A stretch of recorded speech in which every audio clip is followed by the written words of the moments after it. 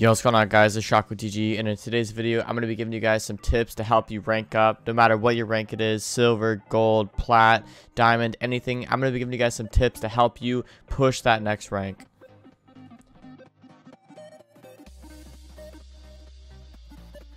Before the video starts, if you guys enjoyed the video, do be sure to subscribe. I post content like this daily. I do daily tips content and gameplay content. So if you enjoy the video, do be sure to like and subscribe. It really does help me out. And be sure to comment your favorite tip. And if you have any other tips for any other players, be sure to drop them below. Anyways, now to the video. The very first tip I have for you guys is to 3 stack or 5 stack. Now, if you guys have watched my recent tips video, you guys will know that I talked about how you need to be at least 3 stacking, 4 stacking, or 5 stacking. Now, the reason for this is if you have at least you and your two other friends, you will always be able to pick whatever map you want in map bans, what, what operator ban you want, what bomb set you want to go to, anything like that. It's very important that you have at least two other friends with you while you're trying to rank up, but the most optimal thing would be to 5 stack. 5 stack is the absolute best way to rank up. There is no other better way to rank up besides playing with four other friends, okay? So really try to shoot for at least two other people with you, but you really want to get a 5 stack if you can. I know it can be really difficult to find people to play with, uh, so I know a lot of people ask me on my Twitch streams, well, I know the 5 stack, but where do I find people to play with? Well, I'd recommend uh, joining people's discords, joining Pengu's discord, Beaulo's discord. Uh, a lot of these content creators have like looking for group chats or you know ranked chats, and you can ask people to play. Like even my discord, I have uh, looking for group chat, so I'll have the link to my discord below if you guys want to join that. But even like the official R6 discord, there's people, Instagram, Twitter, Reddit, all sorts of things. You can find people to play with all the time. But if you don't want to do that route, you could also just be really friendly in your solo queue games. Just be calling out reinforcing, playing properly, being nice, and see if you can make some friends there. That's how I did it at least. Next up is comms. When you have that five stack, you need to have comms. People can't be trolling. You know, you can't be talking about random stuff mid-round. It needs to be about the round and what's going on. You never want to have people like complaining too much and all that when they're when they're dying or whatever. The comms need to be about that round and about the game. It's very important because if your comms are really cluttered, it could easily get one of your teammates killed and lose you the round. So you really need to make sure that when you're in a stack, the comms are good. Next up is utility. It's very, very important that everyone in the stack uses their utility. Now you'll see I'm kind of directing these tips towards like a five stack or at least a three or four stack. Um, because I do feel as, as if that's the best way to rank up. So that's how I'm going to be directing these tips. But anyways, everyone in the stack needs to be using all of their utility. If you're Ash, use your flashbangs. If you're Thermite, make sure you're using both your Thermite charges. Some people only use one Thermite charge. You have two Thermite charges. Try to use both those if you can. If you're Thatcher, make sure you're timing it, your Thatcher grenades with your teammates to make sure Thermite can get the wall or, or whatever it may be. You know, if you're on defense, use all of your reinforcements. I understand there's a reinforcement pool, but that doesn't mean you don't get to reinforce, okay? Unless you have an absurdly long setup as like mute or something, you should be reinforcing.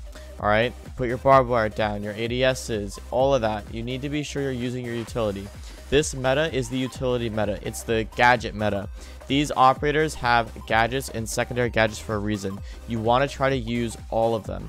Whoever uses their gadgets better and their secondary gadgets better is usually going to come out on top in this meta. So it's really, really important that you're doing this and utilizing your utility properly.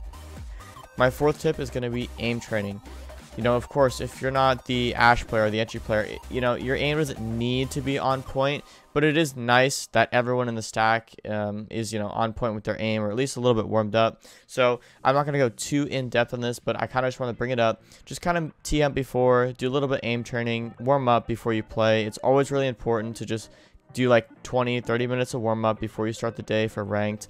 Um, i've got an aim training video. I have a how to find your sens video movement video all of those sort of videos in the description in my tips playlist. So if you guys want a more in-depth thing on exactly how to do all this then be sure to watch those videos. But next up we have roles. It's really important to find your role. Just as i was saying you know not everybody's on that ash role not everyone's on that entry role. But everyone has their own role. If if you're the best Ash player, if you're the best entry player, then you should be on entry. You know, if you're not so good at entering, you, you maybe die first when you're on Ash. You know, try to go in as Thermite or something. Be that droner for your Ash. You, you need to figure out what your role is and play it. If you try to force the wrong role, it's not going to work out too well for you. You know, you don't want your you don't want your least mechanically skilled player on Ash. It's just not going to end well for you. You want that guy probably droning in your Ash, you know what I mean? So it's sort of just a little example for you guys, but just things like that. Just try to figure out what your role is and what everyone else's role in the stack is. You know, when you're queuing for the game, be like, yo, so this person's going to play Thermite, this person's going to play Zofia, this guy's on Sledge, things like that. That way, when you get into the game, you're fully prepared to take that W. Next up is time management. Now, this is mainly talking for the attack. I've noticed a lot of people, they tend to sit outside and they kind of just hold angles or they aren't really sure what to do. So I'm to give you guys kind of a brief attacking guide, okay? These are the things you want to do when you're attacking in Siege, all right? When you spawn in, you have like 15 seconds to get from your spawn, check for spawn peeks, and get to like close to the building, like close to where you're going to entry from. And if you're a droner, you need to be droning right off rip and just trying to get your entry players in the building, okay? No one should be outside the building for that long unless you're a droner, all right? You need to be droning your entry players in, and your entry players need to be pushing off those drones. It's very, very important that you guys have great time management, okay? Because you have three minutes to get from spawn to the building, drone out the whole map, get your map control, set up your execute, and then execute. At the end of the day, the game is all about getting the bomb down on attack, okay? So if you guys have poor time management, you may not get that bomb down and you may end up losing the game or even the round because of it. So it's really important that you guys have great time management. The next step is mindset. You need to have the proper mindset before going into playing.